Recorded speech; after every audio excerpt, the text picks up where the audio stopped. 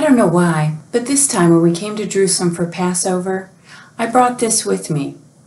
Something tugged in my heart as we walked out that day to travel here. Something told me that this little piece of cloth would comfort me. So I ran back inside and opened the tiny basket I had it hidden away in, and I tucked it under my clothes close to my heart so I would not lose it. To you, it's just an old cloth, a rag for cleaning up spills or scouring pots, but to me, it's a reminder, a reminder that my Lord had a plan for my son, his son.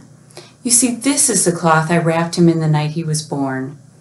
That night when we stumbled into the stable, that night when a star stopped over where I'd laid him in a manger, where the shepherds came and the angels sang, that night my heart fell in love with the baby and broke at the same time.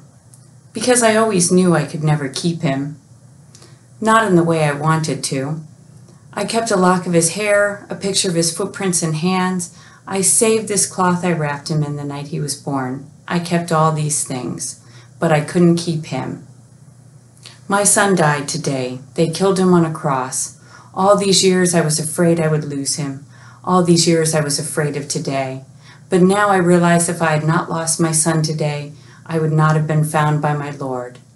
My son died today, but my Lord was born today and I miss my son, but I will see him soon, and I'll keep this until then.